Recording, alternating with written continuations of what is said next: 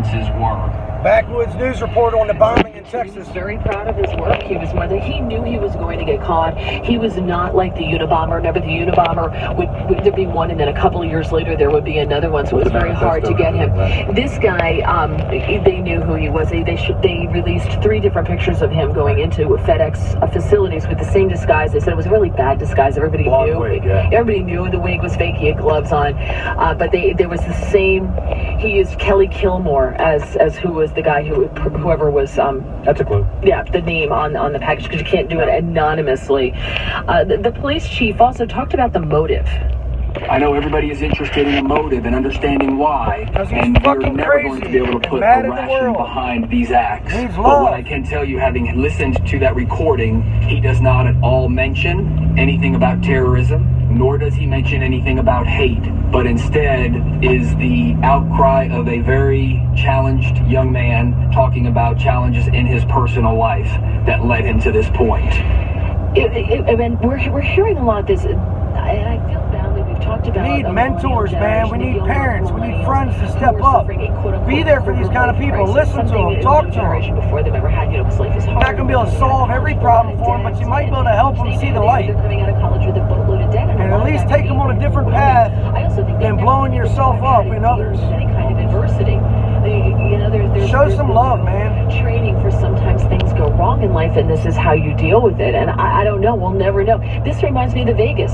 How we still don't know what happened in Well, Vegas. there's more clues there that need to come out. Well, if you're not going to tell us, it's not fair to It's tease. coming. Uh, coming up on WMAL. Well, there's your morning report with Backwoods.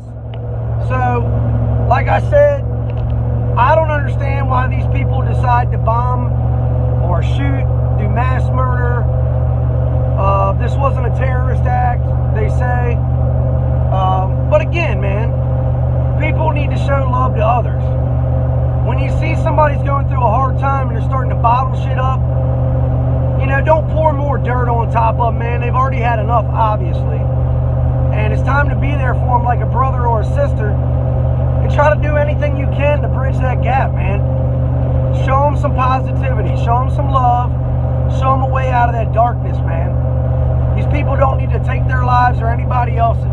Life's already too short. You know, we all believe in different things. I believe that we were saved and I believe that we all, you know, have free will and can make our own choices. And there's good and evil out there in the world. And it's your choice to either do good or do evil deeds. And I'm sure we've all done both. So instead of pointing blame and judgment at everybody else, when, I mean, how are you going to call the kettle black when I'm sure you're not perfect yourself? Only one person comes to mind. Uh, he's not here right now, and he will be back.